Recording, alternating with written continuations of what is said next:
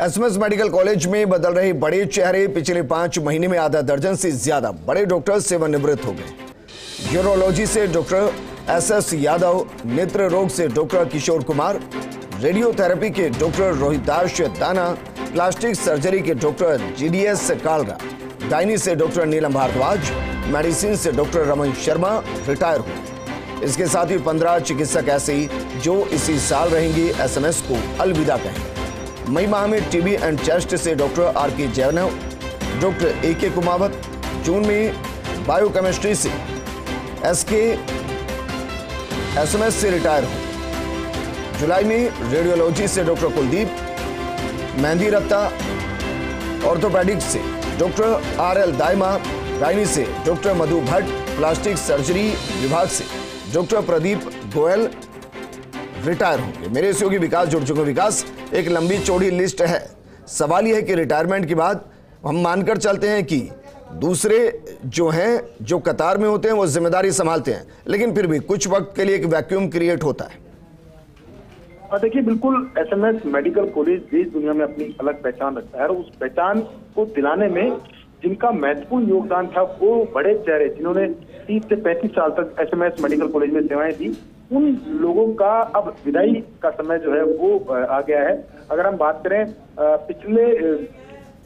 छह महीने की, पाँच महीने की तो पाँच महीने के अंदर एस मेडिकल कॉलेज से बड़े चेहरे जो कि कह सकते हैं जिन्होंने अपने अपने डिपार्टमेंट के अंदर एक अलग पहचान बनाई, चाहे यूरोलॉजी में बात करें डॉक्टर एस एस यादव की बात करें, चाहे वो रेडियोथेरेपी में डॉक्टर रोहित विकास दाना की बात करें प्लास्टिक सर्जरी में जी एस टालरा जो है, उनकी बात करें, नीलम भारद्वाज जैनिक में बात करें, और खासतौर पर मेडिसिन के अंदर रमन शर्मा, एक बहुत ही चर्चित नाम रहा है वो सभी जो नाम के चेहरे हैं, ये सभी लोग रिटायर हो चुके हैं इसके साथ में अगले पंद्रह चिकित्सक ऐसे हैं जो इसी साल एस एम एस से रिटायर होंगे, जो रिटायर होंगे, वो चेहरे बहुत बड़े हैं। और इसके साथ में एक बात और है कि अगले साल को अगर जोड़ लेते हैं तो तकरीबन चौबीस से पच्चीस डॉक्टर ऐसे हैं जो अगले साल रिटायर होंगे और उनमें भी बहुत बड़े चेहरे हैं। हालाँकि ये जो जाना और आने का जो क्रम है, ये सतत प्रक्रिया का हिस्सा है इसमें एक बड़ी बात ये भी कही जा रही है कि जो सेकंड लाइन के जो डॉक्टर है सेकंड लाइन जो है वो अब फ्रंट फुट पर आगे काम करेगी और एसएमएस में जो नवाचार हो रहे हैं मेडिकल क्षेत्र में, उन नवाचारों को और आगे बढ़ाने का काम करेगी। लेकिन एक बड़ा जो कह सकते हैं जो बड़ा चेहरा बड़ा नाम जो तीस पैंतीस सालों से एसएमएस को लीड कर रहे थे वो सभी डॉक्टर्स जो है अब उनका जो सेवानिवृत्ति का समय जो है वो नज़दीक आता जा रहा है। कुछ सेवानिवृत्त हो चुके हैं कुछ अगले डेढ़ सालों में एसएमएस में